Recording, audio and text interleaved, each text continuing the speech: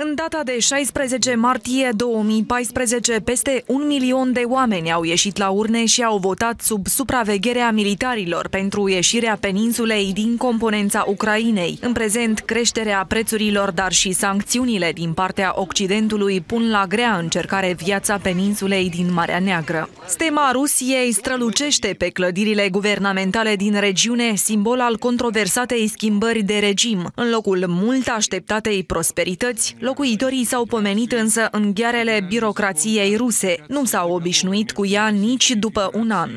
Cel mai mult au de suferit băștinașii regiunii, tătarii. Aceștia sunt intimidați pentru că au susținut forțele pro-ucrainene. Liderul acestei comunități, Mustafa Gemilev, s-a refugiat în Kiev pentru că Rusia i-a interzis prezența în regiune pentru următorii cinci ani.